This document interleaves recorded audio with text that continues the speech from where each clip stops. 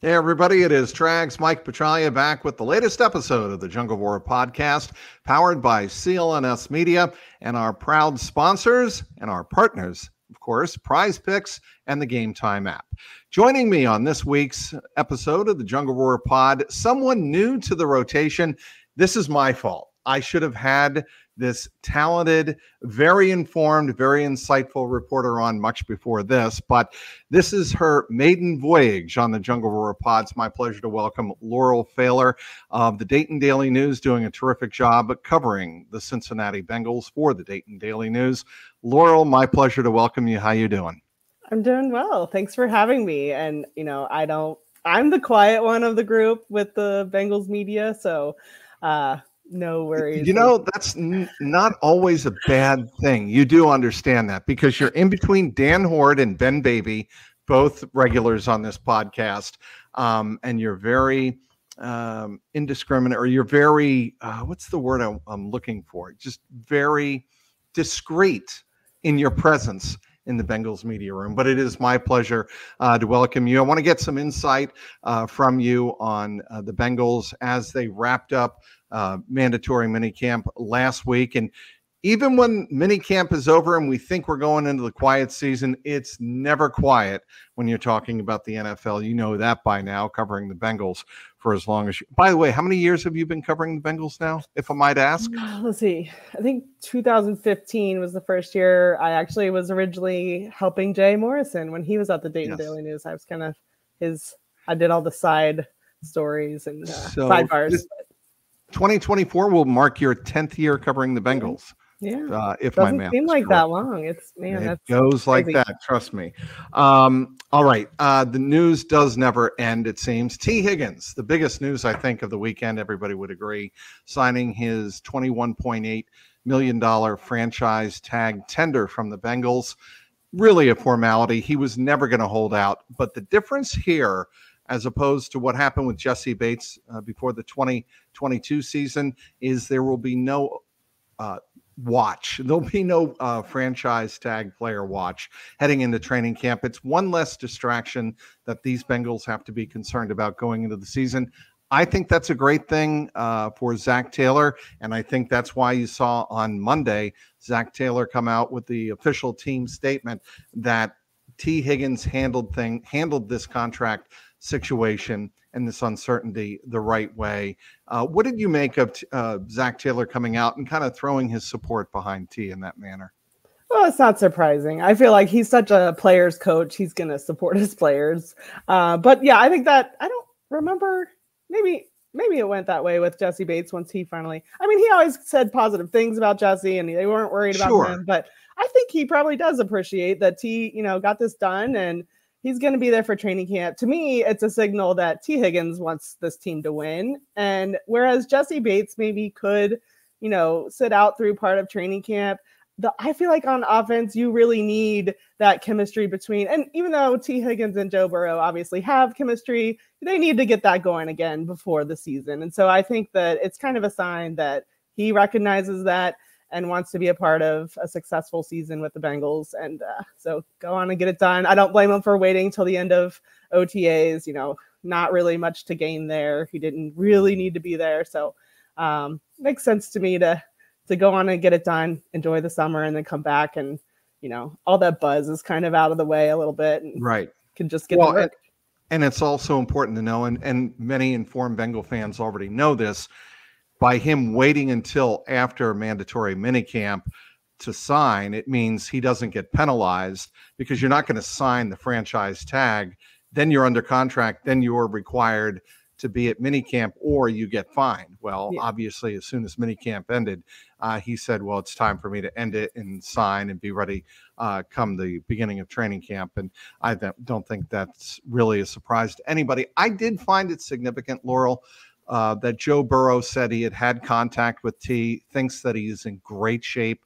And I think that is a sign from Joe that, yes, Ja'Marr is important, like you said, to the offense. But like you also said, having Tee and Ja'Marr together, when you're talking about bringing in some new weapons into the offense and developing some second year players like Andrei Iosivas and um, obviously Charlie Jones when you throw all of that into the mix, I think that's significant to Joe Burrow. Yeah, and I feel like you know maybe it was almost a not a positive that Ja'Marr and Tee weren't at OTAs, but the fact that those younger guys and guys that really needed the reps were able to to get that work in with Joe right. Burrow, I think that probably ended up being more valuable than anything than and I mean Ja'Marr Chase being around that last week, uh, you know, we heard how he was still involved with, you know, discussions with the the receivers and um so I, I feel like it, it went about as well as it could have. So I'm just going to make an observation here. For a team that has so many high profile players at skill positions, Joe Burrow, obviously, he signed his $219 million extension last year, Ja'Marr Chase and Tee Higgins. This team doesn't have a lot of drama. And I think that's a credit to these players who really, with Joe Burrow at the top of the pecking order, if you will, the priority is on winning there isn't a lot of drama when it comes to contracts, and I think the Bengals benefit from that. Uh, and on a lot, we see it all all the time. There are teams where the player becomes the bigger story than the team trying to win, and you don't see that here in Cincinnati. And I think that's very good for for the Bengals going forward, at least in the near future. Yeah, I mean, we'll still be talking about Ja'Marr Chase's contract extension, but you're sure, right. There's but, no drama around not, it, and yeah not to interrupt you, but the drama won't be distraction. Big difference between everybody wondering maybe when is a Ja'Marr Chase contract going to get done, as opposed to a storyline being fed into by the agent or by uh, the player himself or by the organization, which does happen in the NFL. If a team wants to kind of knock the player down a few notches for you know bargaining position uh, in negotiations they'll do that that doesn't happen here with the bengals the only instance really in the offseason uh, laurel where it did happen was with uh, trey hendrickson yep. and him making the trade demand uh, seeing as though he wanted you know to be better compensated but then he realized within about I don't know, five hours, three hours, maybe less than that, that, oh, yeah, I did sign last year and I signed the one year uh, extension. So I really don't have any bargaining power. I'm just trying to, you know, make a statement that I should be better appreciated by the team. Yeah, which is kind of ironic to me because, you know, with how he deals with us, I mean, he doesn't like to do the whole media thing. So the fact that he was kind of the one out there eh, making a storyline, you know, maybe through his agent or whatever. But um, that just I found that kind of ironic. But yeah, he, I mean, he, you know, first day back to work, and he could have still gone on and sat out until mini camp, and he went on and showed up and uh, got his work in and right. took, you know, took questions from us, even though it's not his favorite thing to do. So it didn't end up being a big thing, which is, I think is totally your point. Just it's not even if there is drama, it's not a distraction. And I will, even though we would have loved to have had Ja'Marr Chase talk during minicamp, he declined uh, after every practice and Monday or Tuesday, Wednesday, and Thursday. And while it would have been great for our purposes, it's actually, I think, very good for the team that he kept his mouth shut and kept it all business. And if I'm Zac Taylor, I love the fact that he didn't talk because there's no drama being uh, perpetuated in over the summer, over the summer break, five, six weeks, whatever it is, into the opening of training camp because Ja'Marr said this back in June. Yeah, I you know, I was joking that maybe he really just was got he got teased over winning our media award and so he had to back off the interviews for a little bit didn't want to come off as too media friendly for a little while but no i mean I think that's that's a good point though. Yeah, and look, I think when Ja'Marr does finally decide to talk, he will be a soundbite a minute, it maybe even more. He is that kind of guy. Just because I think when Ja'Marr Chase talks, it's definitely heartfelt and there's no filter. I think when Tee Higgins talks, it's also honest, it's also heartfelt, but it's not nearly as incendiary, if you want, if you will, or uh, it won't spark as much controversy, I don't think, as when Ja'Marr Chase talks. Yeah, I think they're. I mean, they're very different individuals. I feel like in their personalities, and yeah, Ja'Marr, you're you're completely. I mean, that's why we enjoy him because he doesn't have the filter. But obviously, those two have been great to both. To both of them have been great to us. Always doing interviews and making themselves available. You know, pretty much once a week at least during the season. So Sorry, were you going to say something? Oh no, I was just going to say now that we've wrapped up the big names, Tee Higgins and and Ja'Marr Chase. There, uh, who impressed you of the rookies and or second year receivers, Charlie Jones and um, Yoshi? Uh, who who who impressed you over the last four weeks of off season practice? I think Yoshi would be. I I feel like he. I mean, we always knew he had this athleticism, and I just feel like he's kind of taken it to the next level where he's maybe like soaked in everything he learned last year. And now we're kind of seeing it. I felt like he really stood out to me. Um, you know, I, I think Jermaine Burton's going to be fun to watch, just what he brings um, to the to the offense. But uh, right. Yoshi, I think is uh, I'm you know there was so much hype around him last year, so I feel like maybe I shouldn't go that route. But he's the one that stood out the most. I guess what sticks out to me about Yoshi is that he looks bigger. He looks stronger. We already know he's fast. And when you put all of that into the box, you think Tee Higgins, the next Tee Higgins. I don't know if the Bengals have plans to place him in the same positions and the same route trees uh, as Tee Higgins. We'll we'll see how the offseason uh, unfolds, how training camp unfolds, I should say, and how new offensive coordinator Dan Pitcher chooses to use a guy like Andrei Iosivas in the offense. I think Pitcher is going to be aggressive in using him because I think Pitcher believes that there's more that they can do and show more versatility within the offense than they could last year. Yeah, and I mean the way Joe Burrow talked about how the offense is really going to attack defenses and make them adjust to to the, what the Bengals are doing. I feel like we're going to end up seeing a lot of different guys getting opportunities that you know we saw some of these guys, but we they really relied on the big three last year and i think that they understand that they need some different weapons and they have guys that are maybe not going to be around in the future they need to start you know making sure that they have these guys ready and you never know when injuries are going to pop up so i think that that's going to be a big part of what uh, joe was talking about with the eye candy i don't think it's just like different th- i think it's different personnel different groupings just i think it's yeah. going to be a lot different this year uh, yeah, and to your point there, Laurel, I think Dan Pitcher is going to put out players that have, you know, on film earned the respect of the opposing defensive coordinator a little bit more than was the case last year. And guys that when they're on the field, what Joe Burrow means by eye candy is defensive coordinators have to go, oh, that player is on the field. We have to make sure we don't totally ignore him. That's what yeah. Joe Burrow means by eye candy. And I think when you have let's say three or four of those players on the field at once as opposed to one or two makes a huge difference. The other thing I'm fascinated to see is Mike Gesicki's role in this this offense. I don't think he is going to be used as a traditional tight end in the Bengals offense that we have seen the last 3 years.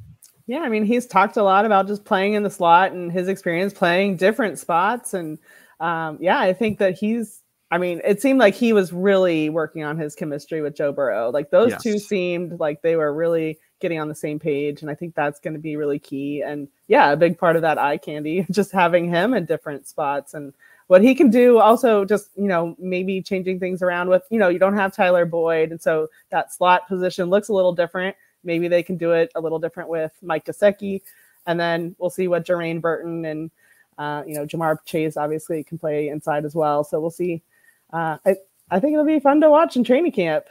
The other the point that uh, Richard Skinner Skinny made last week on this podcast about Chase Brown, I found was a fascinating one, and that is Zac Taylor made a point of singling out what Chase Brown was able to do when he was given just one or two words of coaching and suggestive improvements that he could make in the offseason. He took that and ran with it and came back and came to offseason workouts a different looking player. You're going to see a lot more of Chase Brown this year. I don't think that's any secret, but I'm curious to see how Dan Pitcher uses and complements Chase Brown with Zack Moss, the uh, veteran free agent that was signed uh, off the Colts roster. Yeah, it seems like um, just what he's going to be able to do in the passing game. It seems like that's really where he's going to make that big leap. That, yeah, I, I mean, it seems everyone was really impressed with Chase Brown, and he's another one that you would have to point out as one of the, I guess, winners of the offseason program. Just yep. people really noticed the improvements that he made, and like we we saw some good things last year, but you know that injury that he suffered kind of he felt like he was kind of just getting things going and then got injured and then yep. comes back and you know starts getting going pretty nicely to finish the season. But i think the fact that he was able to take some coaching and really you know pinpoint what he needed to work on for the off season and took that to heart and then we kind of saw it this this off season workout program i think that's we're going to see it even more in training camp. It'll be fun to watch I don't think the situation's too big for Chase Brown. There's an energy about him. When we're, you know, some things that the fans don't get to see that we do as reporters uh, inside the locker room is the vibe when you're around a player day after day after day. And while we weren't there day after day, we were there week after week after week in off season. Chase Brown looks very comfortable and very confident. Oh yeah, he does exude that confidence. I feel like I mean, I felt like even when he came in, he wasn't this shy rookie. Like he was willing to talk to us right away. And yep. Um, I mean, you see it on the field. I, I just don't ever get the impression that he like even if there were things he needed to work on, I felt like he just believed he could do it. And we're yeah, that's I think that's going to be a big key for him in his second year. That I mean, they talk coaches talk about confidence and what that can do for especially young players if they if they can believe in themselves and just put it on in action on the field. And I think we'll see that from Chase Brown. Year two in the NFL, it's a cliche, it has been for years and years and years in the National Football League, is when coaching staffs look at those players entering their second year, that's when they expect them to make the biggest jump because they have had an off season with the team, not having to worry about uh, the NFL combine starting in January and getting ready for it leading up to March in Indianapolis, then getting ready for the draft and whatnot. So I think that is going to be the case with Chase Brown. I think you're going to see even, even, your point is a good one. He was competent last year, but now I think we're seeing he feels like he has a better command of what's expected of him in the offense. I want to get your impression of Ted Karras and him signing the one year extension and why you think that was, I know you wrote about it for the Dayton Daily News, why you think that was a good deal for both the team and Ted Karras. Well, I mean, we all know what a leader he is and just the consistency he's provided, just in availability. Um, you know, being on the field counts for something. And so, yes, um, I mean, we we love him because he he's always willing to talk to us, but I mean, the fans can see everything he's done for the community. Like he's really immersed himself in the community through a charitable project with the Cincy Hat uh, project, I guess you would call it. Yeah. Um, yeah. You know, even though that's based in his hometown, the village of Merici. I always yes. say that wrong. Okay. Village of Merici. yeah. Um, you know, it's it's from his hometown, but he's really connected it to the Cincinnati fan base through the hats and just the different designs, and people love those. So uh, you know, he's just one of those guys you like to have around. And then, you know, it was kind of we kind of could see there was probably something coming when they didn't draft anyone. And he even said that he was watching the draft, waiting to see if they were gonna pick up his future replacement. And you know, they got Matt Lee in the seventh round, but um, you know, Ted is a guy that kind of kind of mentor him and mentor the young offensive linemen in that room. And I think that that's a big key. And so just having him locked down for another year, that that's going to enable him to play more freely. You know, he doesn't have that pressure of I've got to play for a contract. That's not going to be on his mind this year. So I think that's that's the big key for the Bengals and for him, just to not have to worry about that and know that he you've got a veteran in that offensive line room that you can count on. I think I think I remember Ted talking about this the first time we spoke to him after the draft. And I remember him saying, I knew when they didn't draft a center in the first two days of the draft, that would be the first, second, and third rounds, I was okay. Yeah. Because he knows that if you're drafting a center uh, fourth and fifth and sixth, and as it turned out in the seventh round, that's usually more of a development project. You're not going to take usually a six rounder and throw him right into the starting uh, role in, in, the National Football League, unless you're Tom Brady. Um, but certainly with Matt Lee, I think Matt Lee's going to have time uh, to uh, develop behind not only Ted Karras but Trey Hill. So that is something that uh, warrants uh, following. But I think we all love Ted because he's so o- open and honest. I'll give you an example, Laurel. When I think it was Jay Morrison asked, "So what's the contract?" and Ted took a second and said, "Sure, I'll tell you. It's two two twelve meaning two years, $12 million extension. There are a lot of players who'd be uncomfortable saying anything in terms of the value of their contract, but Ted just brushed it off his shoulder and said, Yeah, I'll tell you. To, to me, that's just kind of an indication of you get what you see what you get, you, you get what you see, whatever. Um, what you see is what you get. Thank yeah. you, Mike. Uh, but that's what Ted Karras is. Yeah, uh, that and you know that's also awareness that it's going to come out anyway. There's no reason not to tell us if someone asks. But you know what like, I mean, Laurel? Yeah, right? I no, mean, he's very like, straightforward. Yeah, he is very straightforward, and I feel like that's why we tend to go to him a lot when we need quotes on anything because he's he's straightforward, and um, yeah, I, I think that's that's who Ted is. Well, and the other thing, the other part of that, and probably the more important part of that to the organization is he's straightforward with us he's very straightforward as a team captain, as a leader uh, inside that locker room, especially on the offensive line unit, but throughout the locker room. He is somebody that if a player has an issue, whether it's with the organization, facilities, we can get to that in a second, facilities, and or how the team is treating the players, you go to Ted Karras and he will represent you. He'll tell you the situation. He'll tell you, okay, yeah, I can bring that up, or mm, that's not really a battle worth fighting, and here's why. I love that aspect of Ted Karras, and I think the organization does too. Yeah, I think that when Zac Taylor was talking about how some veteran players came to him and talked to him about how because the locker rooms are under construction and you know the players aren't all together he kind of, i i think he was talking about ted karras. He didn't name anyone but he said some veterans came to him and said you know we're not really getting a chance to get to know these young, new guys on the team because you know we need to make sure we're having some more team meetings or do something so that we're all together more. And zac took that to heart and i i i'm almost positive that had to been ted karras yeah, I, I, would would agree with you. Talking with Laurel Pfahler of Dayton Daily News, covering the Cincinnati Bengals in the National Football League. Hard Knocks. This is a different twist this year, and the Bengals are involved in it. This will be technically their third season on Hard Knocks in 09 and in 2013. Those were the traditional uh, episodes in which, for like the first 15 years, 16 years or so, they took a team and, and followed them in the preseason, like they, of course, this past year with Aaron Rodgers and the New York Jets and Robert Saleh, they followed the Jets in preseason. Then they uh, took it a step further. They followed the Cardinals, I believe it was, and the Miami Dolphins in season.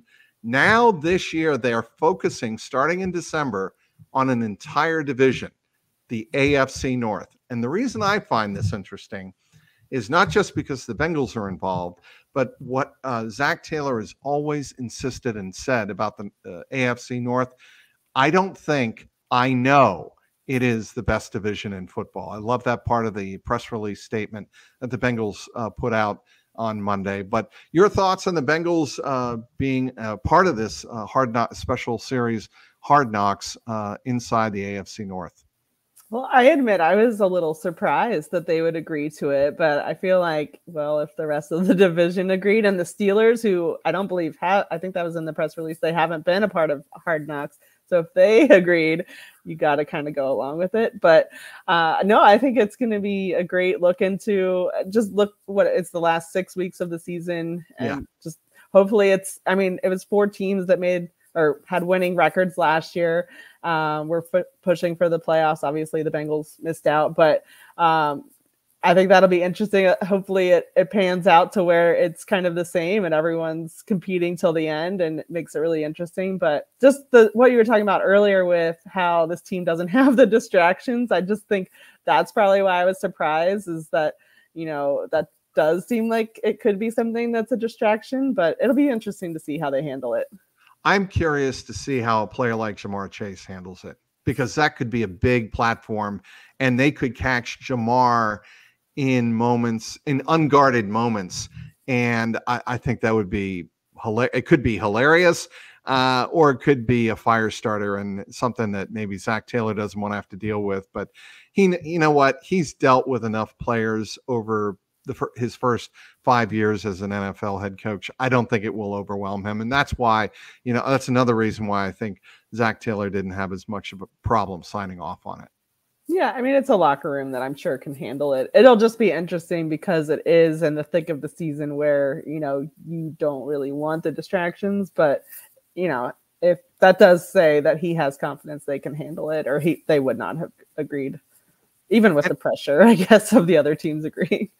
Uh, yeah, I, I'm, I think that there could be more pressures. Of, I don't know if that's the word I want to use, but certainly I think there could be more intensity when you're following a team like John Harbaugh and the Baltimore Ravens than the Bengals. The Bengals, I think, are focused and certainly in the 21 and 22 seasons, very focused, but you never got the feeling that it was this mounting pressure, which is why I think they were able to string together those eight wins and they were able able to overcome, um, you know, what happened. Uh, Damar Hamlin uh, late in the season, they mm-hmm. weren't they didn't lose their focus. Yeah, it was a terrible story, but they managed to you know compartmentalize, and I think the Bengals do a really good job of that. The other teams in that division, the Browns, Steelers and Ravens, certainly with the Steelers and Ravens, have very intense coaches, and that can go one of two ways. Yeah. Some interesting characters too that I think, yeah, it'll be interesting to see how they get portrayed in this. Um, just having that inside access and like you were talking about with Ja'Marr, like there's I'm I'm kind of interested to see what what players surprise us from the other teams. Yes, I am too. Uh, anything else you're working on as you uh, head into the summer months? Well, I do. I mean, I get paid per story, so I'm always trying to fill content. But uh, no, um, yeah, I'm. I was following up on Dax Hill, just you know his transition to cornerback. You know, we talked to him right at the beginning of when we found out he was making that change, and mm-hmm. he sounds a little bit more comfortable now. I, I think that's something that I, I, think I have a story coming out tomorrow on that. But um, yeah, just he was kind of talking about how everyone kind of views him as this versatile guy and oh yeah he's played corner before he can do this but he was saying like i really haven't played a lot of outside corner so it was an adjustment at the beginning and you know he watched a lot of film um, took a lot of you know he credited the coaching that he's gotten and um, he's trying not to view it as a competition so there's not that added pressure of that but I think it'll be a fun competition to watch in, in training camp just to see what happens between him and DJ Turner. Obviously, the focus is on the players. It's going to come down to Dax Hill and DJ Turner, like you said.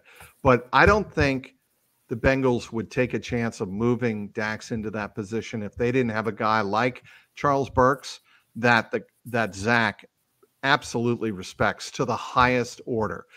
Charles Burks has really worked hard on his craft, working with a lot of rookies and younger players in the in the secondary and the corners. And we've seen what he's been able to do with Cam Taylor Britt, who I think could turn into an all pro this year. I, oh, yeah. I think a lot of people are very high on that on him and for very good reason. You know, and I don't think the Bengals would be entrusting Dax Hill with just anybody. I think Charles Burks should get a lot of credit for the way he's developed a lot of the young corners in that secondary. Yeah, and that was something that Dax specifically pointed out his work with Chuck. They always call him Chuck. Yeah. Um, how just how he's worked well with him, and you know, just in the film room especially. And yeah, I think that's going to be a big key. That you know, Dax has the tools. He's athletic, fast. They can do a lot, and you know, they've been talking about his versatility since they drafted him. So um, to see what Coach Burks can do with that. It'll be, I mean, we saw it. At, I felt like he looked pretty good. I mean, the defense kind of stood out in mini camp over the offense anyway, but he was one of those players out there flying around making some plays. So I think it'll be fun to watch. Well, I know you do uh, also tremendous work for Queen City Press covering FC Cincinnati, and that's going to be taking up a lot of your summer as well as we look forward to uh, training camp. By the way, the training camp uh, schedule has been released. There are 10 public practices open for training camp, and that begins on July 29th. Camp doesn't begin July 29th, camp begins July 24th. Uh, but the first uh, training camp practice open to the public it will be a Monday, July 29th. That'll be uh, gates opening at 1.30, practice 2.15 to 4.10, and I'm sure it'll be a nice, cool 95 degrees with about 65% humidity. What do you think, Laurel? I feel like it's going to feel a lot like this week. Yeah, and we're going to not want to be out there. but I, I, think you know me by now. I embrace the heat. Heat does not okay. bother me. I'm the one who usually, when it's below 75 degrees who comes in with a jacket and a hoodie on in the press room. You do know that about me, right? Yeah, but you can break out your Hawaiian shirts and you know your they we'll uh, we're, we're actually moving. Lovely Deborah Ann and, and myself are moving, but the Hawaiian shirts are protected, packed away. They are not getting thrown out mysteriously in the move. So they will be making another appearance at training camp 2024 for the Bengals. We'll Just be so looking you know. forward to that. I'm sure everybody in the press corps will be. Well, I want to really thank you very much, Laurel Pfahler, for uh, joining me on this episode of the podcast of the Jungle Roar podcast. Did you have fun?